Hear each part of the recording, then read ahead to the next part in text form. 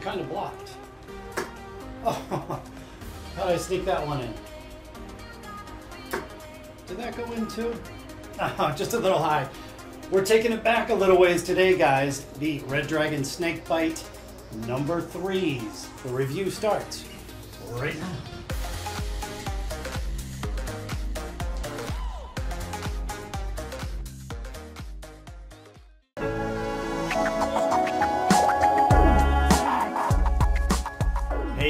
What's up guys? Worldwide here. We got a great video for you today, but hey, before we get into it, just want to let you know that we're having some record-setting hot temperatures here. I've got my door open.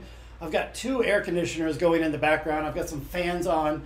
So if there's some humming or background noise throughout the duration of this video, I apologize, but just trying to stay cool here. And uh, you know what? It's it's not working too well. But yeah, in this video, we're going old school today. We're going to be taking a close-up look at the Red Dragon Peter Wright Snakebite number three. So yeah, way back. I think these came out somewhere, I don't know, 2014, something like that. So yeah, they've been on the market for a really long time.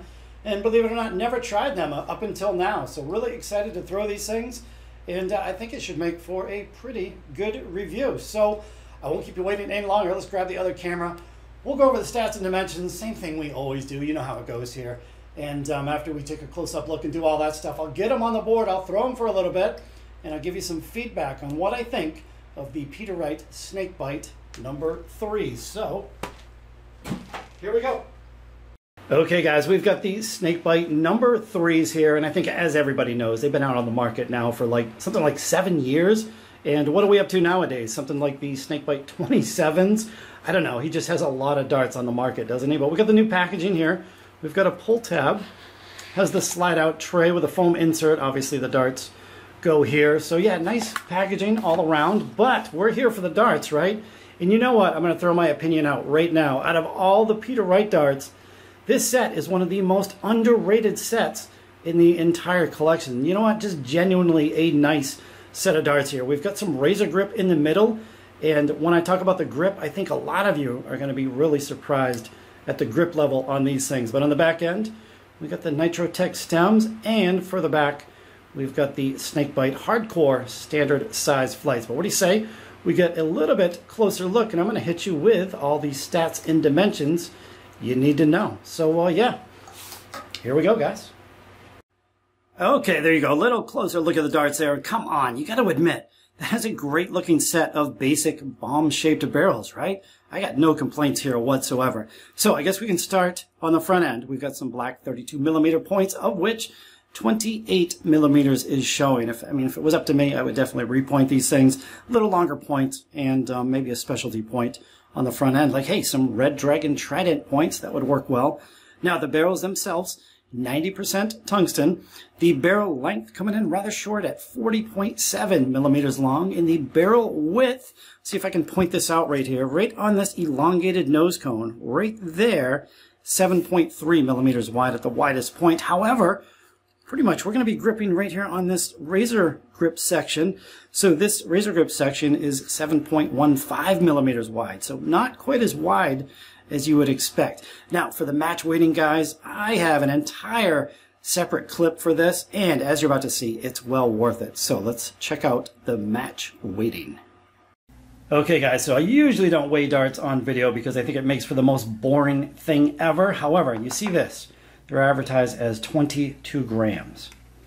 But I think we can make an exception in this case. So first one, 2200. The second one, 20, whoops, 2200. And I think you know where this is going. The third one, yep, 2200. And honestly, that is really, really rare in the world of darts. You got three barrels all bang on 22.00 grams. Perfect advertised weight, perfect match weighting. It doesn't get any better than that, guys. That is perfect. Okay, guys, like I said earlier in the video, I think you're going to be surprised at the grip level here. I know that I was, because when I was shopping online, when I'm looking at the pictures, obviously you see the razor grip, and I think we all know razor grip is usually hella grippy, right? Well, I don't know, maybe it's because these are machined so close together, Honestly, this feels like a micro multi-ring grip. There are absolutely no sharp edges whatsoever. Matter of fact, that's smooth to the touch as a result, you know what? I'm going to go ahead and give these a level 2 grip on a scale of 1 to 5. Imagine that, razor grip coming in at level 2. Never seen anything like it. Matter of fact, these are probably the least grippy razor grip barrels I've ever felt in my life. So uh, yeah, I guess there's that. We've got the gold snakehead logo there. The gold looks really awesome against this black coating. We've got the red dragon logo there, again in gold. We've got this elongated nose cone, and like I said, the widest part of the barrel, kind of right there, about three inches into this nose cone. You definitely feel a little bit of a ridge there, a little bit of a hump, but as far as the grip goes, I'm going to be gripping two-finger grip right on the razor grips with maybe my middle finger resting on the bottom of the nose cone. But that's about it. I will put on the Trident 180 nose cones to get rid of that lip right there where the point meets the barrel. But uh, that's it, guys. Basic set of darts and uh, a little bit chunkier than I'm used to. But what do you say we get these things on the board? And uh, I'm going to be throwing them stock out of the package, as you see here. So, yeah, kind of excited to throw these things and uh, see how they perform. So, here we go. Okay, guys, a little bit past 6 o'clock at night. It's getting warm in here, so let's wrap this up. We'll have about, what do you think, five throws with a completely stock snakebite number threes here. Oh, and in case you're wondering, the drink of choice tonight, other than water, lots of water, guys, we got the Ghost Blue Raspberry Energy Drink. Is it going to help? Yeah, probably not. So yeah, I've been warming up with these things for about 10 minutes or so. And I have two major takeaways with them. The first being, oh, that was for a bullseye. The first is that these things feel a lot thinner than what they are. What I what is the uh, the wide point was what 7.3 millimeters wide.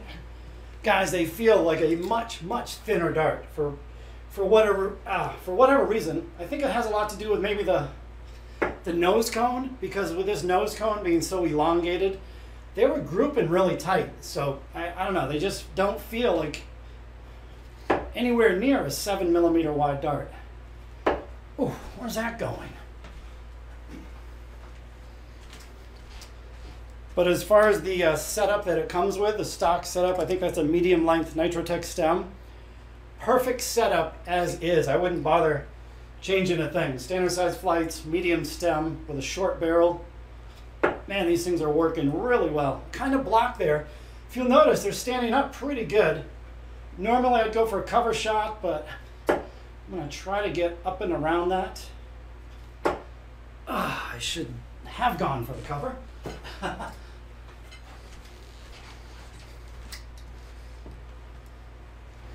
yeah, I mean, they're, they're so easy to throw. I've got a two finger grip right on the razor grip section, and um, yeah, just incredibly easy to throw. There we go. See, that's what I meant to do in that last turn. Let's see if I can sneak one more in there. Oh, did I? Oh, how did that not go in? Look at that.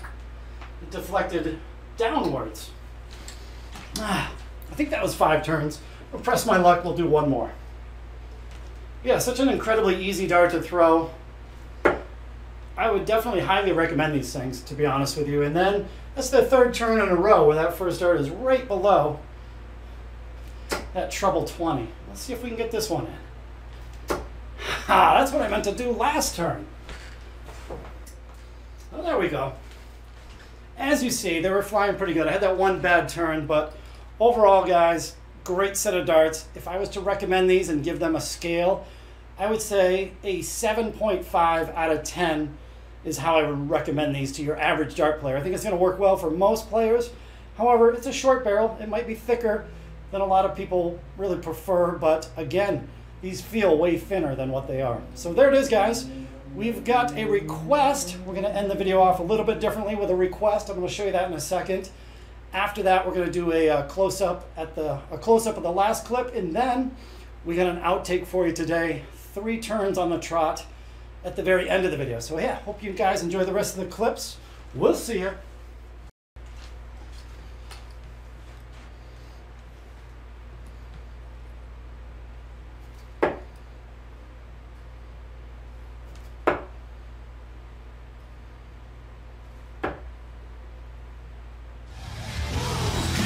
Boom! Doing something different today, guys. So yeah, great place to end the video there. If you're wondering what's up with that.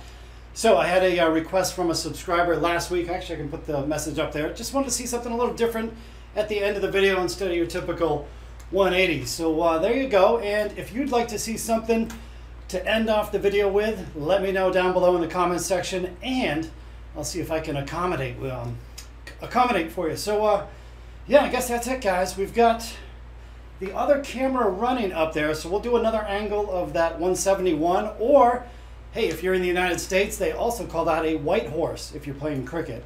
So uh, yeah, we got that clip, the close-up, and I think I'm going to do an outro or an outtakes, excuse me, where I have um, three turns on the trot trying to hit that white horse or 171. It was kind of getting frustrating, but yeah, I think the outtake will be funny. Um, so that's it, guys.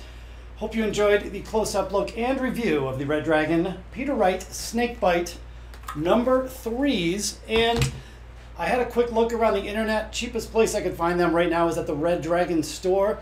39 pounds, which is right around 50 US dollars, which, hey, that's a heck of a deal for a, a uh, world champion set of their darts. So, uh, yeah, hope you guys enjoyed the video. If you did, thumbs up, and hope you guys enjoyed these last two clips. Until next time, guys, we'll see you on the next video. And this board is so much softer than that target. Later.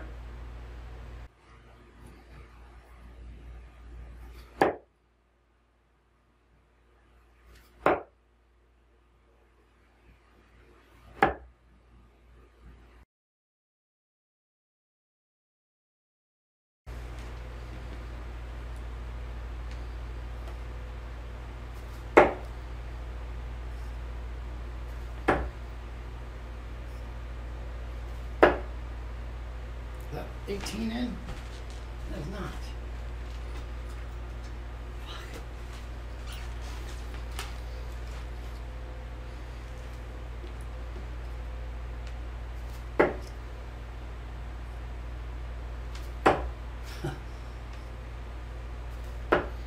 No, that one's not in either.